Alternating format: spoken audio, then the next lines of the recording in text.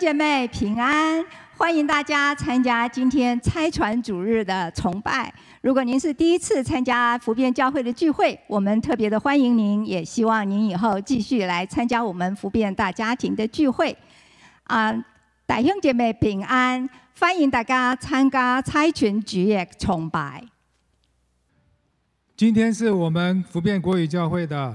粤语堂跟国语堂一起来崇拜，所以欢迎大家。让我们能够把握时机，在这个时候完成神托付给我们教会神国度宣教的使命。我哋今日好歡迎粵語堂同埋國語堂嘅弟兄姊妹一齊嚟敬拜。以下嘅時間，我邀請大家係用你習慣嘅語言，我哋一齊喺詩歌上面一齊嚟敬敬拜主、讚美主。耶穌是世界的真光，讓我們一起來歌頌，一起來敬拜。耶稣，耶稣。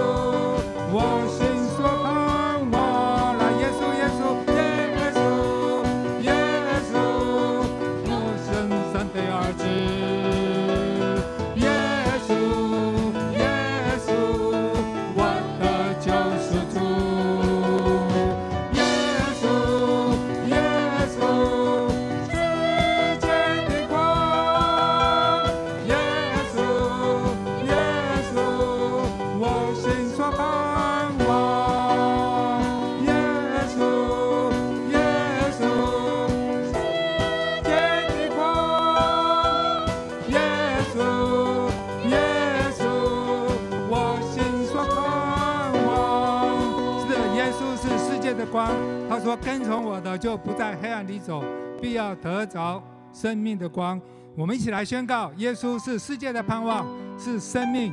唯一的真光世界之光。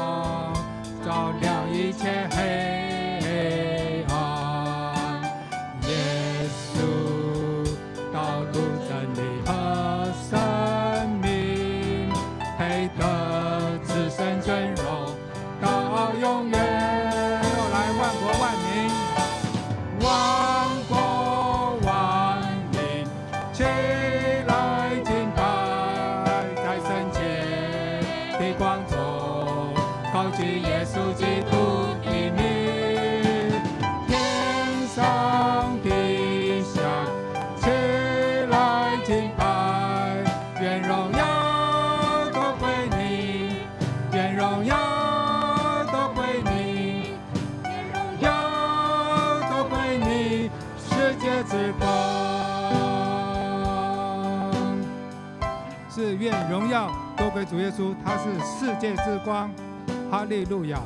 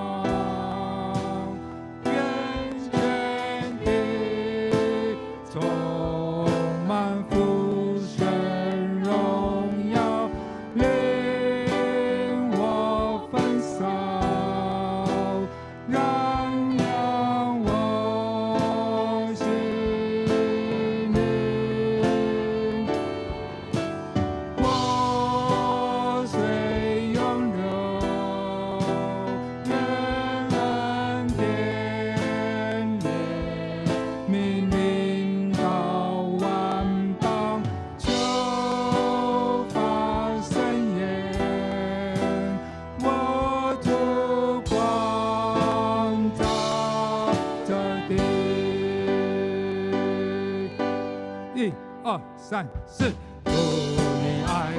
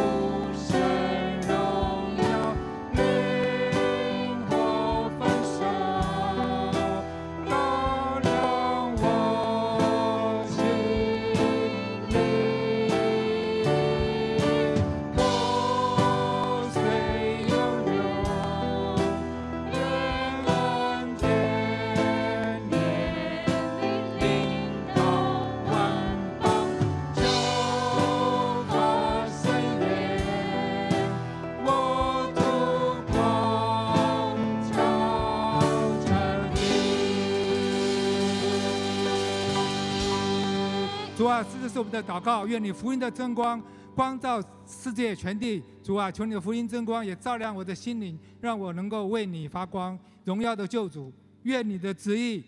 成为我的意向。主啊，我愿意为你去，求你赐给我勇敢的心，让我走出去，使万民得听你的福音，成为你的门徒。奉主耶稣基督圣名祷告，我愿为你去。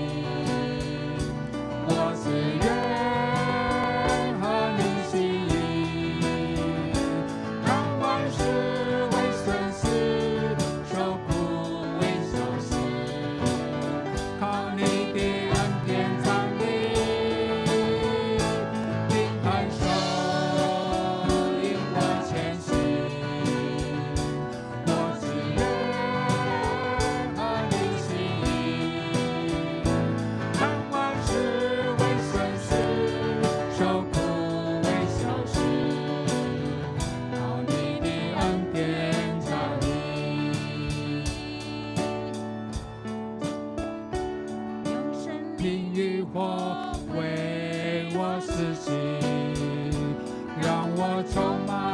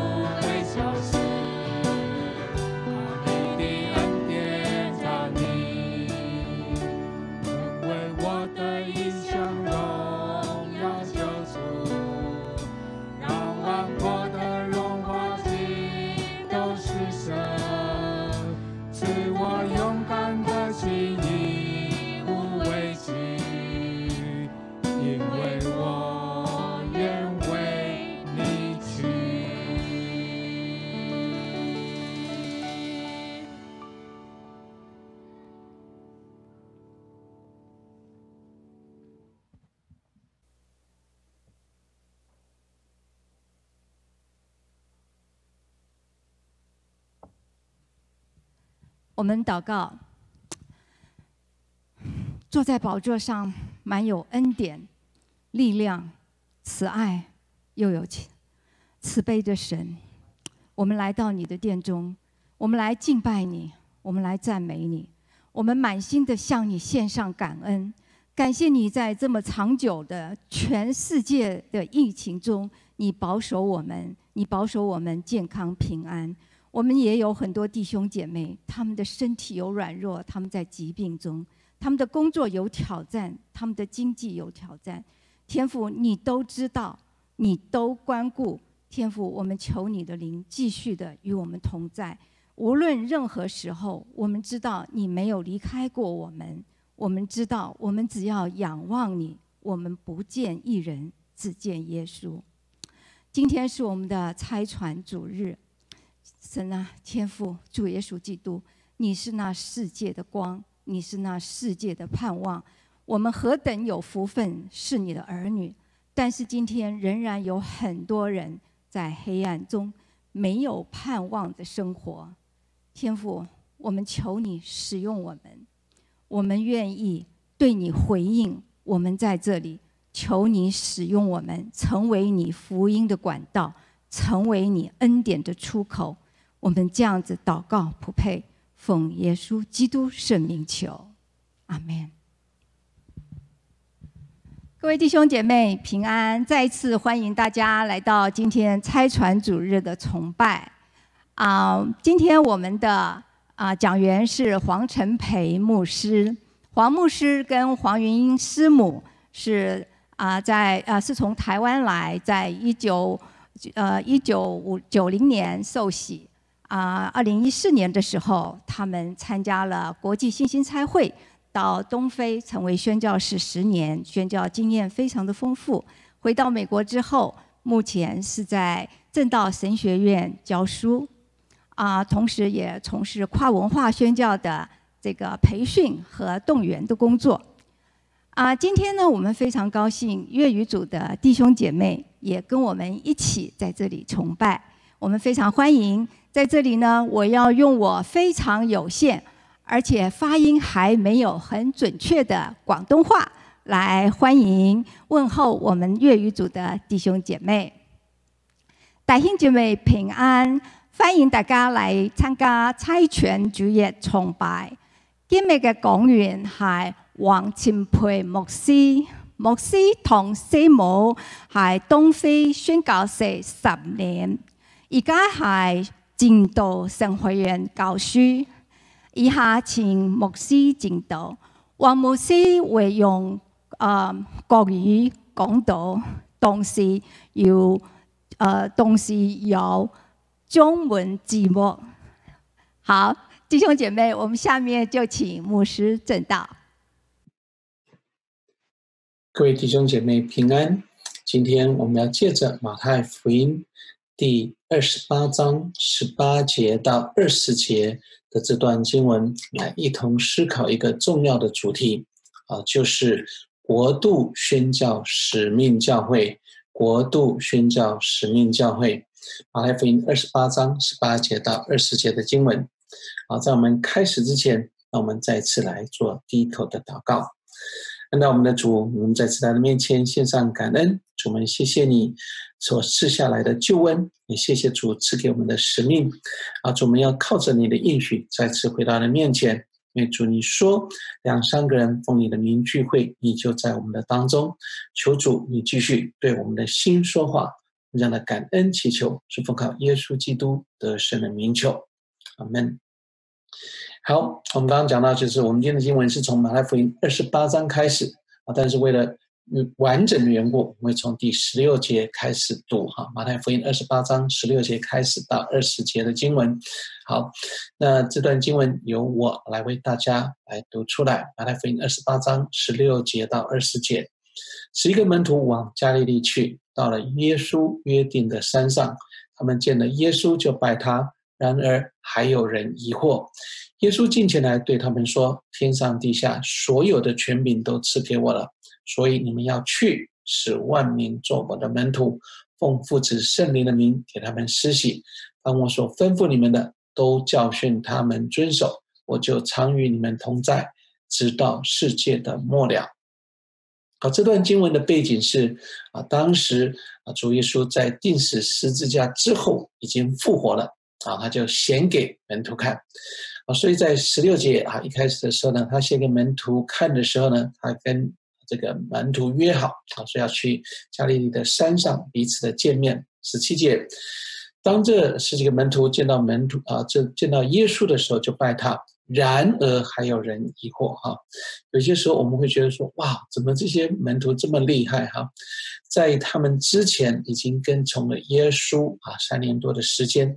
看到了许多的神机骑士，如今啊复活的主就显现在他们的面前啊，他们居然还会有疑惑哈？其实回头想想啊，这个其实是神很大的恩典啊，因为在我们属灵生命成长的过程当中，我们也经历了。神许许多多的恩典，但是我们却常常会有许多的这种啊困惑或者是问题哈，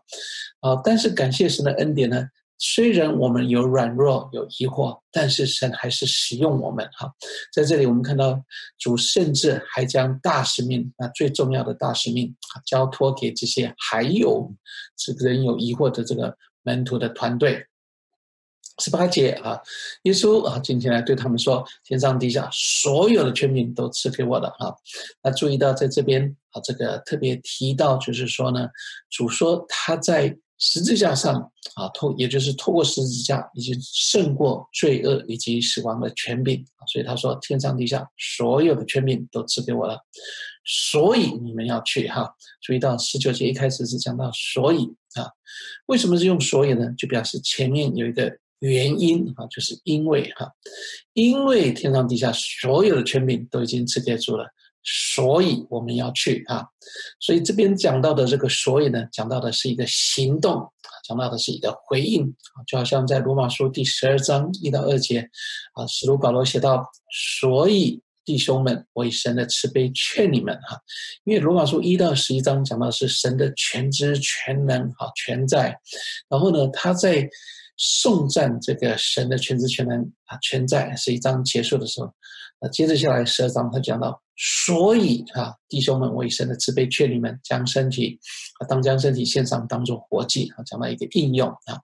那我们再回到主题经文这边呢，因为。前面啊提到十八节提到，主已经胜过了罪恶跟死亡，天上地下所有的权柄都赐给他了。所以啊，这是我们的应用啊。所以我们要去啊，是外面做主的门徒啊。注意到我们这边有好几个词哈，用孔字特别标起来的啊，看起来很像动词的地方啊啊，比如说去哈，比如说这个做啊门徒哈，奉父子圣灵的名给他们施洗啊。凡我所吩咐你们的，都教训他们遵守，我就常与你们同在，直到世界的末了。所以，到底什么是宣教呢？宣教啊，简单的来讲，就是直接参与到这场属灵的征战当中。所以在参与这场属灵征战的过程当中，最最重要的其中一件事情，就是要我们亲自的经历神。那感谢神，我们过去。这个有十年的时间在东非从事跨文化的宣教啊，从主后二零零四年到二零一四年，啊，在这十年的过程当中啊，我们主要做这个侍奉呢，是在培养啊，在非洲下一代的传道人。那在这个神学院啊教导的过程当中，好，我们就成立，好，跟师母，我们就成立了安提阿宣教团契，啊，盼望我们的这个呃学生能够栽培起来，好像安提阿教会的领袖啊。我们知道安提阿教会还有一个很特别的见证，就是在所谓新传十三章啊，就讲到，就是说当这群。跨文化的这种啊，这个领袖团队啊，教会的领袖团队一起敬拜、赞赞美、服侍神的时候呢，圣灵说：“我们要为我将巴拉巴跟扫罗分别出来，啊，差派出去啊，到外邦人当中啊，这个传福音，也就是跨文化的宣教啊。”哇哦！啊，感谢神啊！使用安提亚的教会，不但让他们的教会强壮啊，成为一个健康成长的教会，又愿意将当时最好的教会的领袖巴拿巴跟扫罗差派出去。因为巴拿巴他是在安慰、关怀、劝慰上最好的领袖，那扫罗更是在这个教导跟讲道上啊最好的这个啊领袖跟牧者。啊，所以呢，他们就把他们最好的领袖给差派出去啊，进到这个外邦的群体当中啊，为神的国度来摆上，从事狂花的宣教。所以，我们甚至安利亚啊这个团契啊，宣教团契的目的呢，也是盼望将将我们的学生培养成最好的领袖，并且把最好的领袖进到差派到这种啊跨文化的宣教当中啊，进入到神的心意啊这个大神命的心意当中。啊，那我们记得有一年，这个两千零六年的时候呢，我们到了一个地方哈，叫卡加的地方，在那边服侍，主要是针对马赛人啊跟索马里人来传福音，因为他们还算是未得之名。啊，当我们到的第一天的时候呢。那么就这个借助在啊当地啊少数的这个马赛人的教会当中啊，到教会的教堂当中啊，那因为在这个穷乡僻野的地方呢啊，没有 hotel 哈，当然也不会有 motel 啊 six 啊等等这样子的地啊这种啊地方哈，所以呢最好住宿的地方就是跟当地的教会的合作啊，然后借助他们的教堂。啊，那感谢神啊！那个当地啊，就这个啊，居然有马赛人的教会的教堂啊。然后呢，那马赛人的牧者啊，叫 Samuel 啊，他也特别啊，第礼拜五啊，帮我们到的傍晚啊，我们风尘仆仆到达的时候呢，还还特别来啊接待我们啊。然后来呢，我们稍微安顿之后呢，他他又啊开啊这个离开，回到他这个啊住的地方，啊住的比较远啊。那当天我们到的这个傍晚的时候呢，就下了大雨啊。就那感谢神，在我们的这呃这那一次出去的学生当中呢，有一位啊学生啊是马赛人那位马赛的学生就跟我讲说啊，莫里姆啊，莫里姆就是老师的意思。莫里姆，我马赛人啊，当下雨的时候，我们都不说下雨。我说啊，你们不说下雨，那你们怎么形容呢？啊，他们他说，当下雨的时候，我们会说 God is visiting us 啊，就是神来拜访我们了。我说哇，啊，为什么呢？因为呢，其实雨水啊就会带来生命啊。当没有雨水的时候呢，那个庄稼没有办法成长啊。当没有雨水的时候呢，那动物就会这种干渴而死啊。那人也很难生活下去。所以呢，难怪啊，马赛人在这个下雨的时候呢，他们不说下雨啊，他们会说 God is visiting us 啊。那第二天啊，礼拜六一大早的时候。那这个塞缪牧师哈，还有从很远的地方啊赶过来啊，来安顿我们哈，并且啊陪我们去做施工哈。然后呢，他一看到我的时候就很高兴，看着我说：“哇，马利姆，马利姆啊，谢谢你们来，谢谢你们来哈。”哇，我想什么事情这么惊讶哈？他说：“因为呢，过去这三年哈，我们这个地方已经好没有好好的下一场雨。”可是你们来的第一天，不但下雨，而且还下大雨啊！所以大家仔细看，我在照片上，我的这个衬衫啊、裤子啊，都是被大雨这个淋的湿透了。后来呢，那上面有牧师有提到，他说昨天下大雨的时候呢，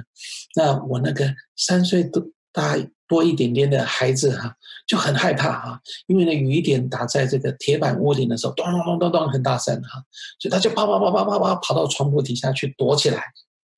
于是我就啊跑过去跟他讲说：“My son, my son, come out, don't be afraid 哈，我的孩子，我的孩子，出来，不要害怕哈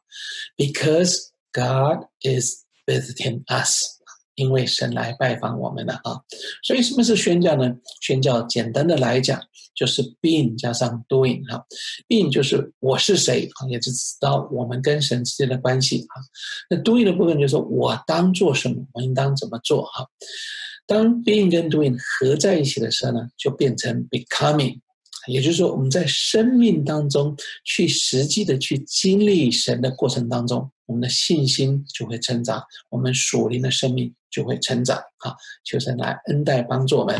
所以今天呢，我们会借着马太福音二十八章，刚我们所读到。大使命的这段经文啊，一同来思考啊，教会健康倍增的模式，把它称作天国之音啊，也就是啊国度宣教使命教会啊。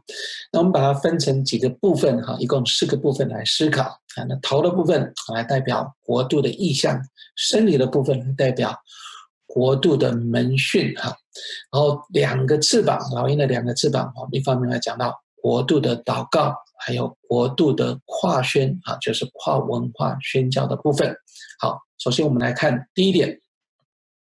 也就是这个老鹰的头，国度的意向啊。国度意向是教会施工的重要起点，国度意向是教会施工的重要起点啊。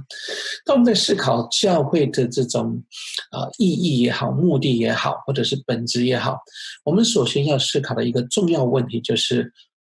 教会为什么存在啊？教会为什么存在？教会难道是为了盈利，也就是赚钱而存在吗？当然不是的哈。那难道教会是为了生存而存在吗？啊，当然也不是的啊。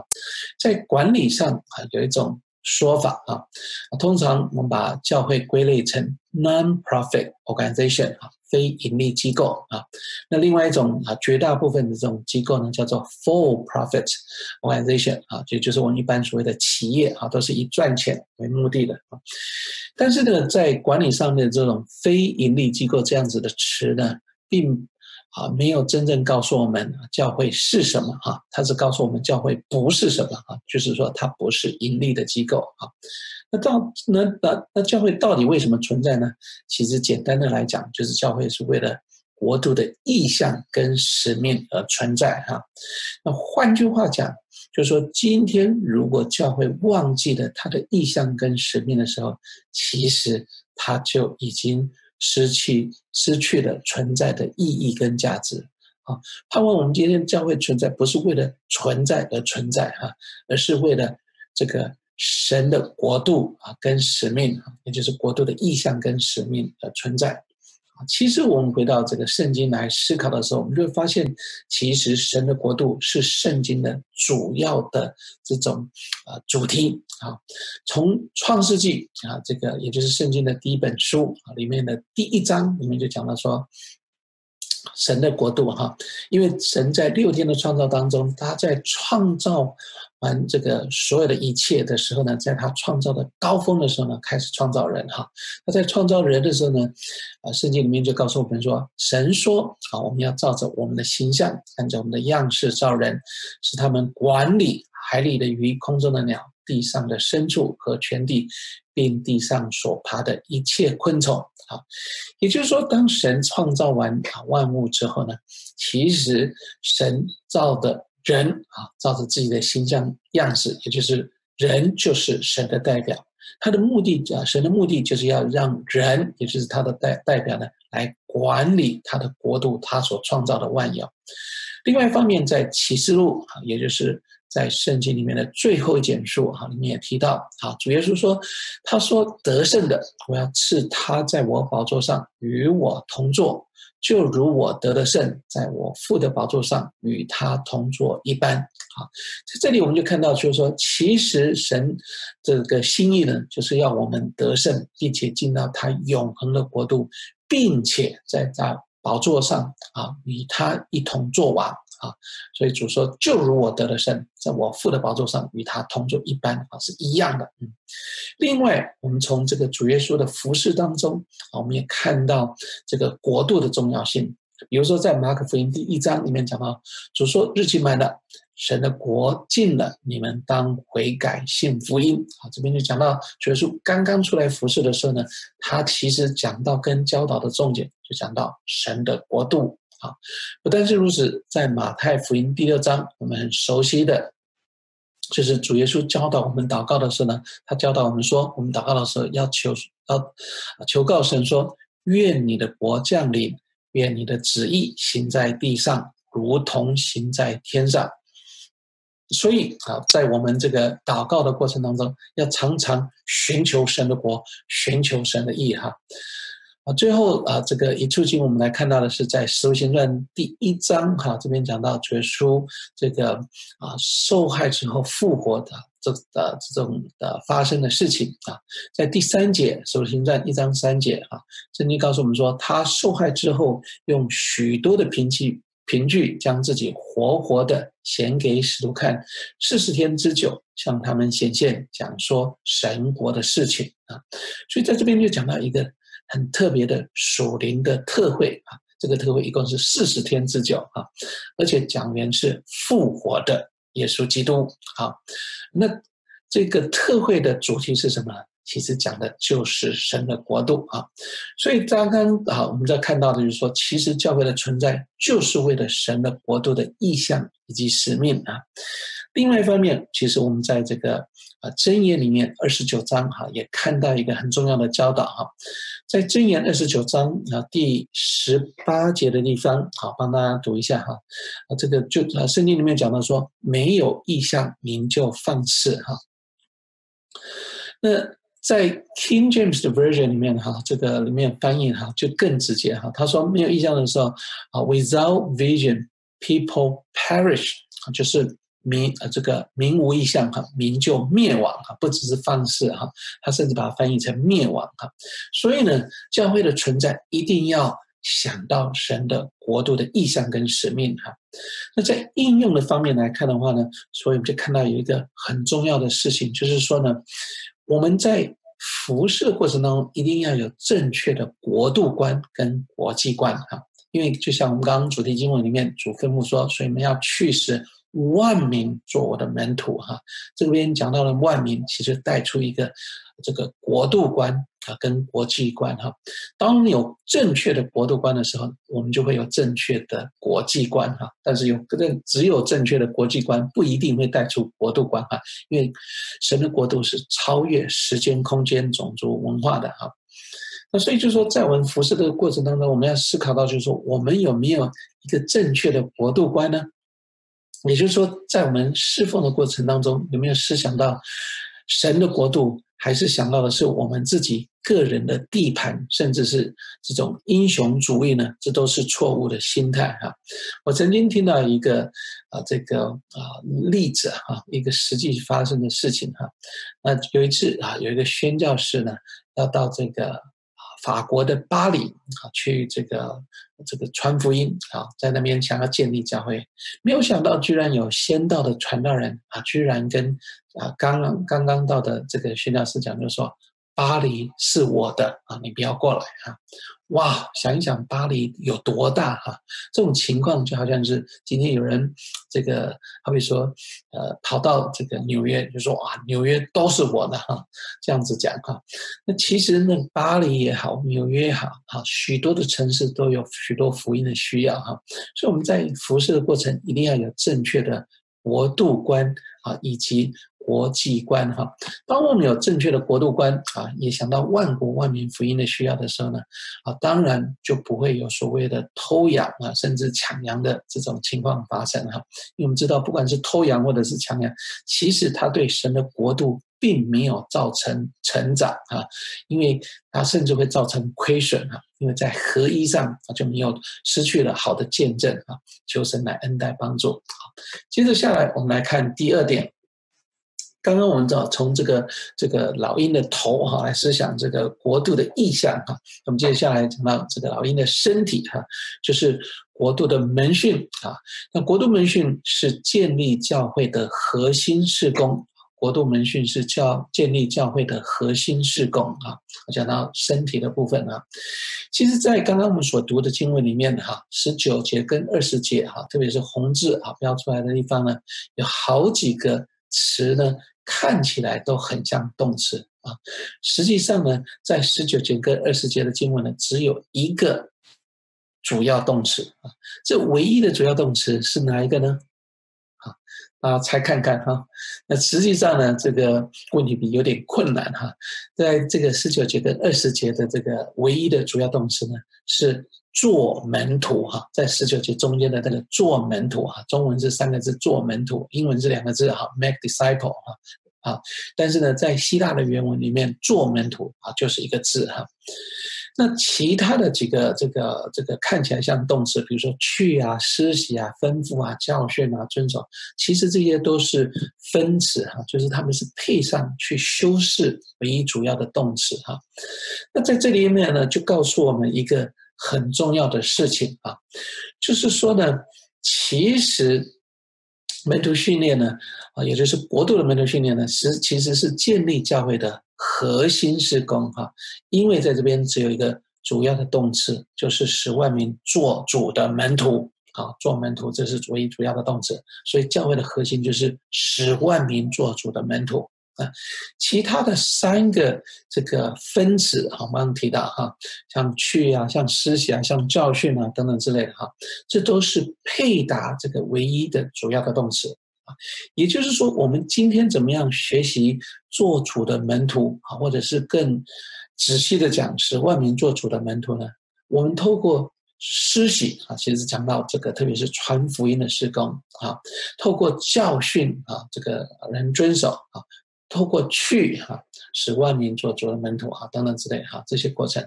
注意到就是说，在整个过程当中呢，其实啊，我们特别用了这种双向的这个箭头啊，来指啊，来表示出来，就是说呢，当我们在传福音，好比如说这个施洗的部分哈，奉父子圣灵名给他们施洗啊，讲到传福音的施工，当我们在传福音的过程当中呢，不只是帮助对方。成为主的门徒，其实，在传福音的过程当中，我们自己也学习，也成长啊，啊，怎么样继续做主的门徒啊？因为在这个传福音的过程当中，需要爱心、信心跟勇气的啊，所以它是都是双向的啊。也就是说，在传福音的过程当中，其实是一个双向的成长啊。我们不止帮助别人成长，我们自己也继续的成长。好，那所以说在这当中呢，我们几个重要的原则啊，关于国度的门徒训练。第一个啊，要有清楚的目标哈，要有清楚的目标哈，因为呢啊，在这里呢，我们就看到就是主说要使万民做他的门徒，这个是唯一的主要的动词啊，做门徒是主要的动词哈。那注意到就是我们通常比较容易这种啊。忽略的哈，就是说，其实这边讲到做门徒的，他的 scope，他的范围，他的对象是谁？是万民哈，不是只有华人哈，或者是华民而已哈。啊，当然中国也好哈，这个台湾也好，世界这个所有的华人都需要福音哈，但是不是只有华人而已哈，乃是万国万民哈。第二个呢，我们不但是要有这个清楚的目标呢，第二个我们还要有生命的传承。啊，因为刚刚在大使命就讲到说，主说，凡我所吩咐你们的，都教训他们遵守，特别注意到“遵守”这两个字哈。那所以就是说呢，那在这个啊教导的过程当中，其实不是只是为了这种知识的成长哈。所谓遵守的意思，就是说它乃是一个生命的传递哈。不是知识的传递哈，换句话讲，当我们在教导也好，啊，也或者是在讲道也好，一定要带出应用，一定要带出生命的挑战跟改变，才能够达到生命传承的目的啊，这个非常的重要啊。另那另外呢，还有一个很重要，就是说我们要做。得胜的门徒啊，就就是我们刚刚在这个读到启示录第三章啊，就说那得胜的啊，要坐在宝座上与我一同作王哈。那这边得胜呢，我们特别是讲到就是说呢，愿意去啊的人哈，也就是直接参与到国度宣教的行动当中啊。那我们注意到就是其实得救跟得胜啊是有不同的哈。所谓的得救，说当我们信主之后呢，其实我们就得救了。可是得胜的意思呢，是就是说，我们靠着主呢，继续不断的成长啊，不但是要，比如说这个固定的聚会，还要有这种个人的灵修生活，还要进入到小组，还要参与服饰，还要去使万民做主的门徒啊，参与到国度的宣教哈，啊，这些都是这个神要祝福我们啊，叫我们不断成长啊，成为国度的人才的一个过程。那最后一个要还要我们还要成为一个差派的教会啊，因为主的吩咐既然是去啊，是万民做的门徒哈，那我们的教会也有这样子的责任来差派人出去啊，所以在教会成长的过程当中呢，有很多衡量的重要的指标。啊，那 Rick Warren 哈，Pastor Rick Warren 哈，这个呃，这个讲的很好哈。那华莱克牧师他就提到，就是说呢，其实一个教会的成长呢，最重要的不是 sitting capacity 聚会的人数。而是 sending capacity 哈，也就是差派的人数哈，求神来恩待哈，叫我们的教会也成为一个啊差派的教会。所以在门训的过程当中，我们不但要有清楚的目标，要有生命的传承啊，帮助每一个信徒成为得胜的门徒啊，愿意参与到国度的宣教，都啊借着祷告各式各样的方式哈，然后呢，也我们的教会也愿意成为一个照着主的吩咐，成为一个。差派的教会啊，这也非常的重要。接下来我们来看第三点啊，就是讲到这个这个老鹰的翅膀啊，第一个翅膀啊，国度的祷告啊，国度的祷告是经历神啊，与并且与神同工啊，国度的国度的祷告是经历神啊，并且与神同工啊。国度的祷告到底有多多重要呢？啊，其实，在提摩太前书啊里面啊，告诉我们哈，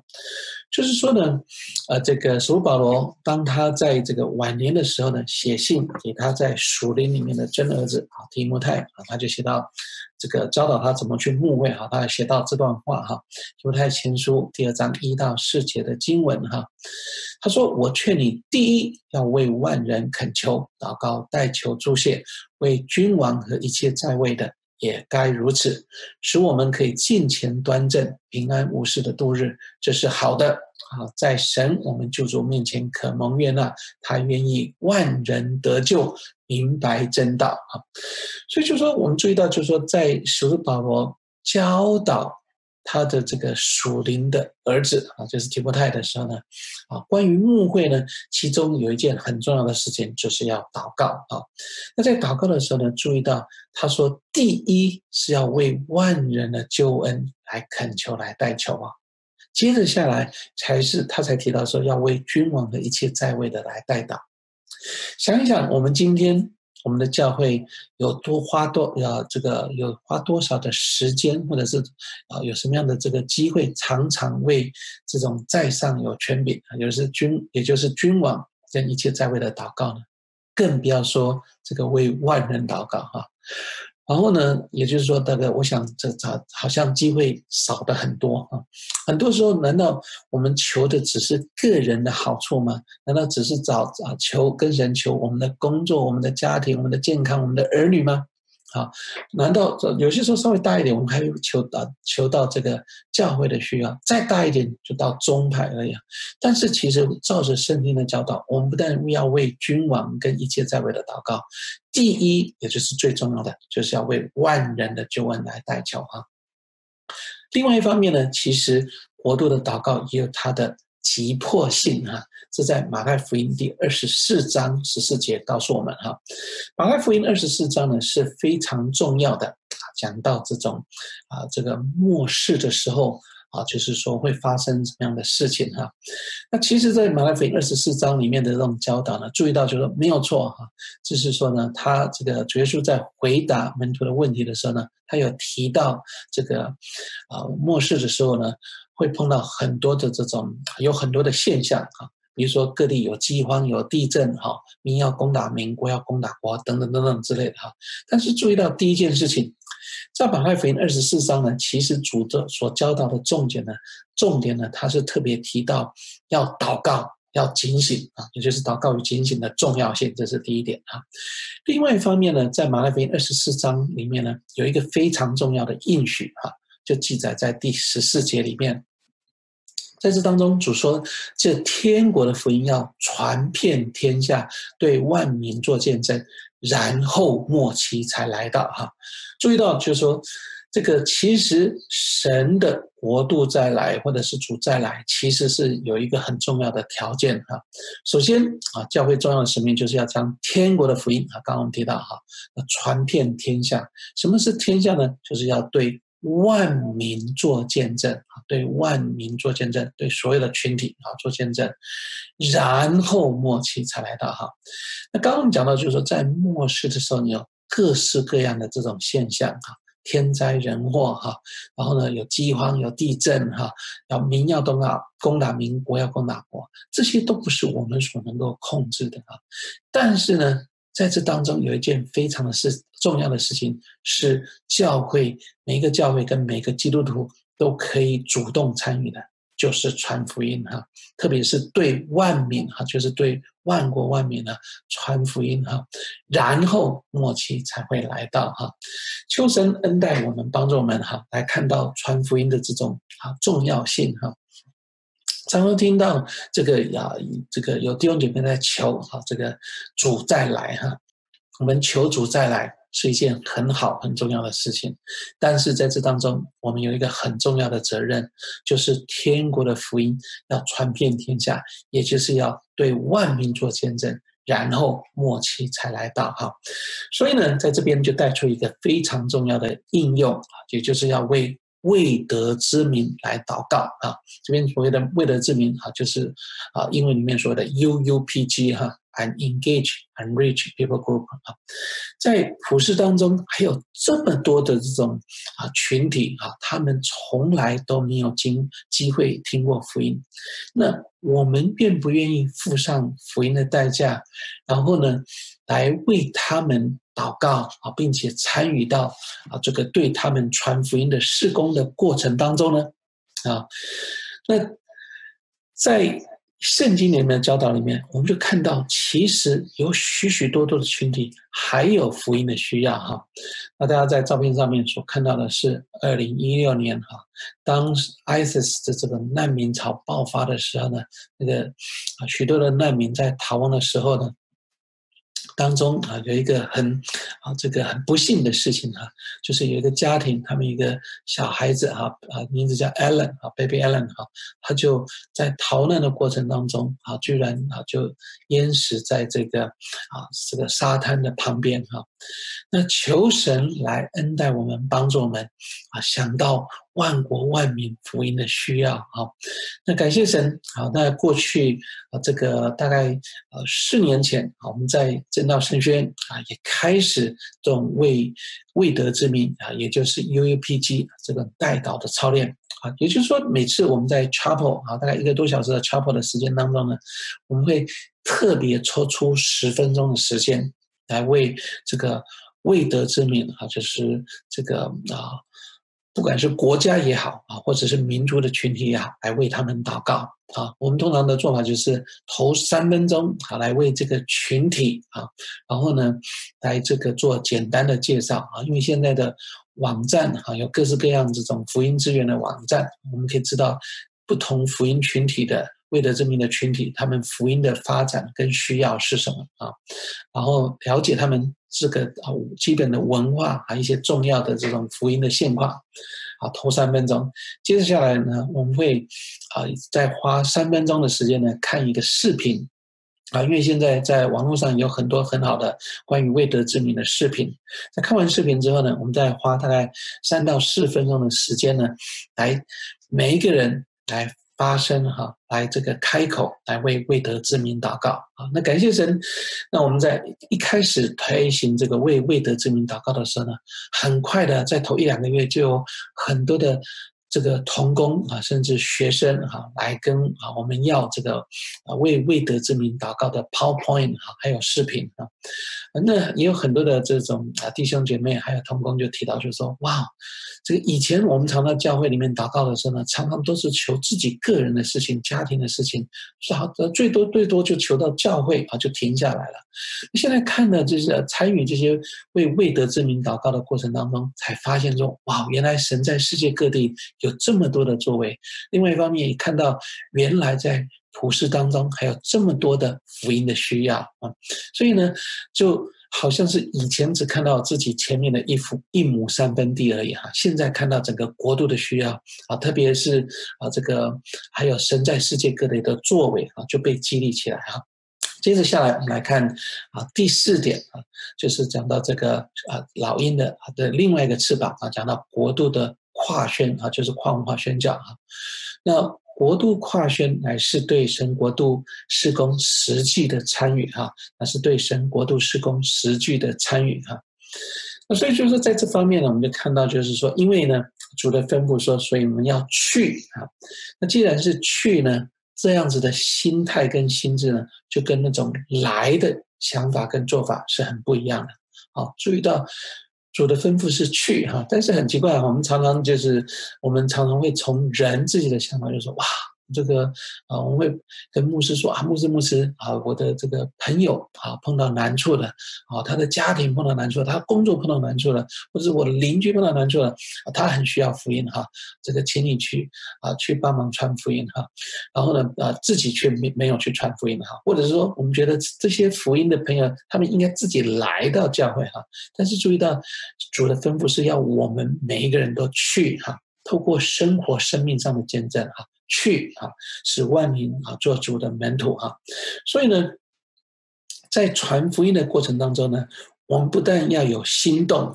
也要有实际的行动啊，求神来恩待我们，帮助我们啊，叫我们能够实际的参与哈。刚刚讲到。大诫命跟大使命之间的关系哈，因为大诫命呢，就像啊，在马可福音啊第十二章讲到，我们要尽心尽性尽意尽力爱着我们的神。那大诫命牵涉到的就是我们的 being，也就是我们自己跟神之间的关系。那大使命呢，我们刚刚提到就是说，不但是 being，也是 doing 的部分哈。也就是说呢，啊，我们要不但要思考我是谁，要思考我当做什么。这样子才能够成为 becoming 啊，我们属灵生命不断的这种持续跟成长啊，要实际的投入。另外一方面呢，我们除了要有信信心的行动之外呢，另外一方面我们还要有国度的胸怀啊，也就是要愿意成为万国万民的祝福。简单的来讲，就是说，我想可以从几方面啊来思考这一个问题哈。第一个呢，我们每一个。信徒哈，每一个这个啊做主的门徒哈，每个也就是每个基督徒，我们都应当愿意祷告啊，为国度的这种福音的需要来祷告，并且参与到奉献当中啊。另外一方面呢，每一个教会呢。也应当除了祷告跟奉献之外呢，还要再加上差派跟支持哈。也就是说，我们不但要差在我们当中啊，照着主的吩咐去使外边做主的门徒哈，差派宣教士出去，我们还要支持我们所差派出去的宣教士哈，不是说把人这个差派出去啊就不管了啊，这个非常的重要哈。那所以就是说呢，在这里呢，我要提出两个挑战。好，给大家来思考。第一个挑战，第一个挑战呢，就是国度的十一的奉献啊，国度的十一的奉献啊。但其实呢，啊，针对奉献的教导啊，如果我们来看的话呢，其实整呃，大家都知道吗？其实，在新约圣经呢，已经不提十一奉献的教导。啊，实际上在新新约圣经里面呢，只有一两处啊讲到十一奉献的教导，而且那个是负面的教导哈，是针对法利赛人的责备哈，主耶稣对法利赛人的责备哈。那十一奉献呢，其实在旧约里面这种教导哈，那新约里面的奉献的教导是什么呢？其实新约里面的教导呢，就是我们刚刚提到罗马书第十二章一到二节啊，就是弟兄们啊，我我以神的慈悲劝你们，将当将身体献上。当做活祭哈，所以讲了已经不是十分之一，乃是百分之百全人的奉献啊。啊，那既然啊圣经圣经是整全的，是一致的，所以简单的来讲呢，其实今天作为一个主的门徒呢，十一奉献乃是最基本的啊，最 basic 的部分啊。那在这边，我们的我我所提到，我们所提到的这个国度的十一奉献，就是说，我们除了十分之一奉献给这种我们自己的教会母会之外呢，另外呢，我要挑战弟兄姐妹的是，我们自己有没有针对国度的十一奉献？也就是说呢，既然这个啊新约里面的教导是百分之百的奉献，我们出了十分之一，有没有再分出另外一个十分之一啊？也就是第二个十分之一呢，来针对国度的奉献不只是对自己的教会，针对国度的奉献啊，甚至更多啊，十分之三、十分之四啊等等之类啊，不断的成长啊，求神来帮助我们的信心的增长啊，借着奉献啊。另外一方面呢，其实国度十一的奉献呢。不只是针对啊基督徒个人的，也是针对教会的一个很好的挑战啊！我想今天作为教会，如果我们只是告诉弟兄姐妹要十分之一的奉献，啊，将十一奉献奉献到教会里面来，但是教会本身有没有参与到国度的十一奉献呢？啊，那你可能会问说，那国度的十一教会的十一奉献哈，这个是要这个国度的十一奉献是要给谁哈？其实，在神的家里面，神的国度里面有各式各样的需要，嗯，因为在神的国度里面呢，除了教会之外，还有许多其他重要的平台，包括差会，包括神学院，包括很多福音的机构啊。所以呢，其实神的家里面呢。不缺乏资源啊，我们看到神常常祝福我们哈，供应我们很多的需要哈。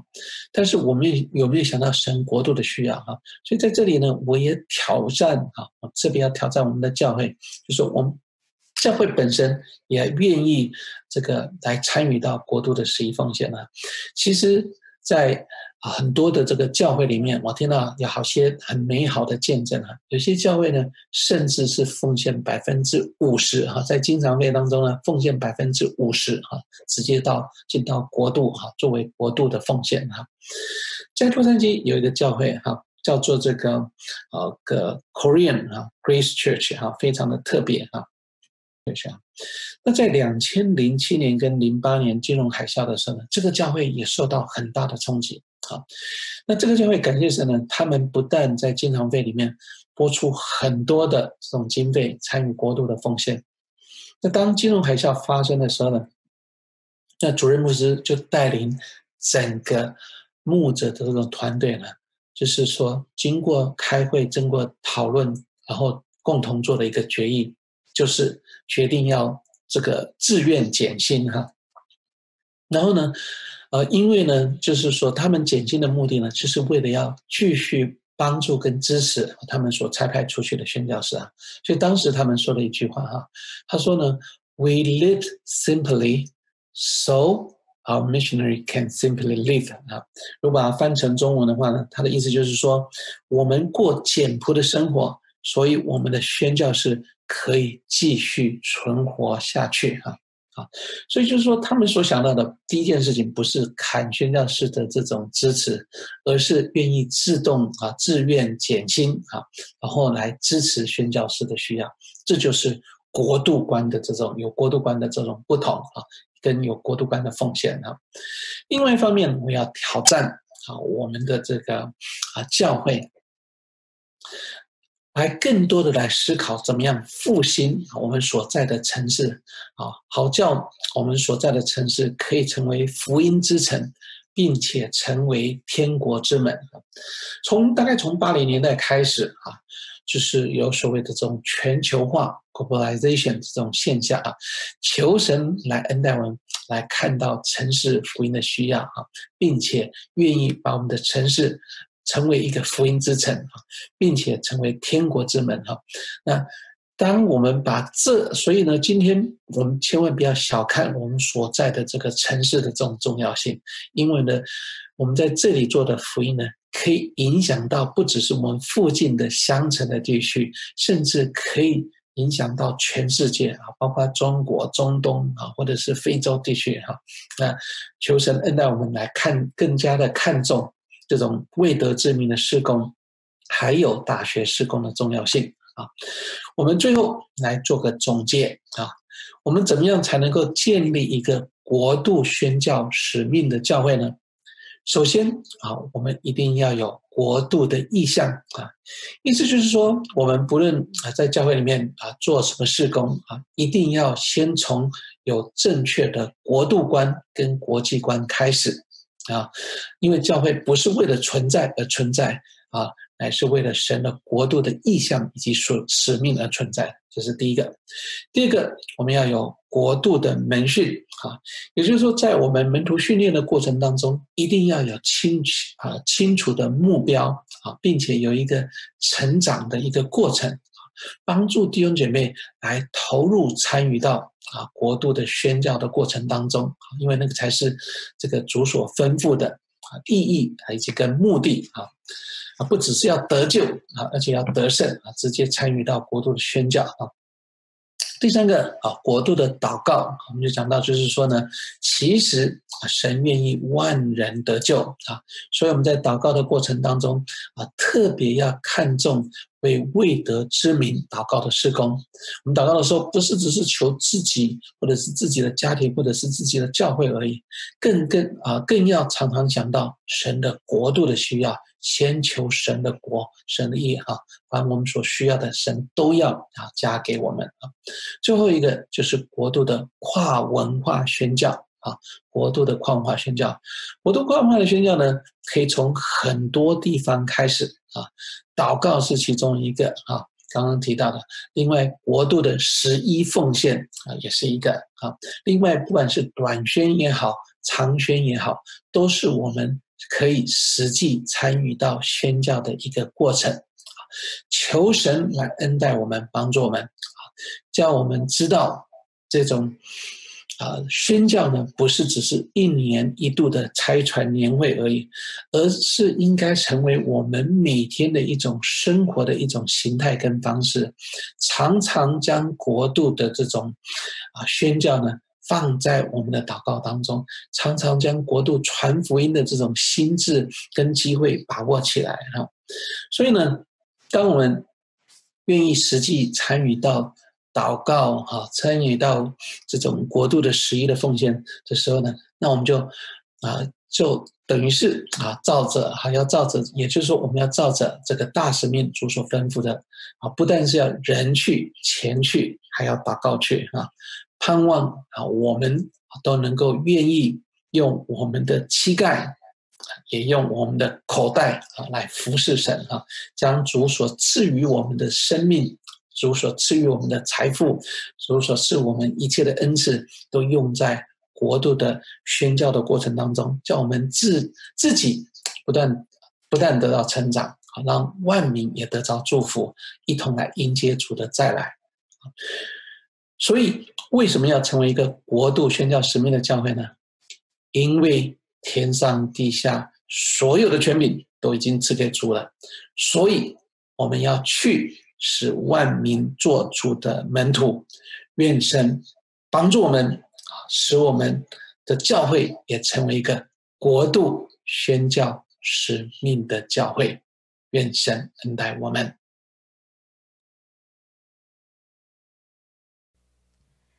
谢谢我们感谢黄牧师的正道，感谢牧师用这么鲜明的一个老鹰的形象来提醒我们在宣教的国度中我们的使命和我们的呼召。我们感谢今天静息提醒我们、激励我们，希真的希望我们所有的弟兄姐妹、我们的教会都能够领受大使命的信第啊大使命的这个呼召，让我们。真的是为主奔跑，为主放上，让我们如那只大鹰一样，为神的国度展翅上腾。下面我们就用这一首回应诗来回应今天的信息。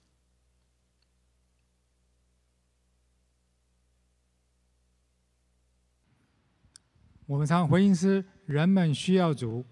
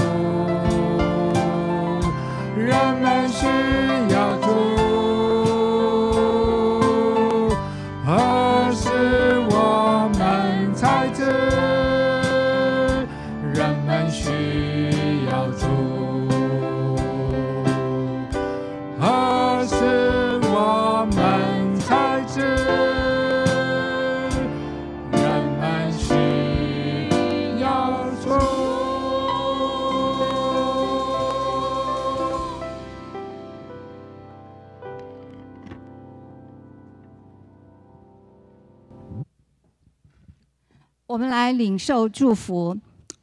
愿慈悲、慈爱的圣父，主耶稣救赎、更新的恩典，圣灵浇灌、同在、医治、安慰，永远与我们同在，与我们同行，帮助我们成为为你奔跑的器皿，为你在万民之中做见证。直到见主的面，Amen。今天我们的聚会就到这里结束，请国语部和黎城分堂的弟兄姐妹进入 room 进入你们原先主日学或小组的 room，就跟每一个主日一样去参加我们为你们所预备的拆船施工分享。粤语部的弟兄姊妹朋友们。請你哋進入你哋嘅 Zoom 參加猜傳事工分享嘅討論時間。多謝。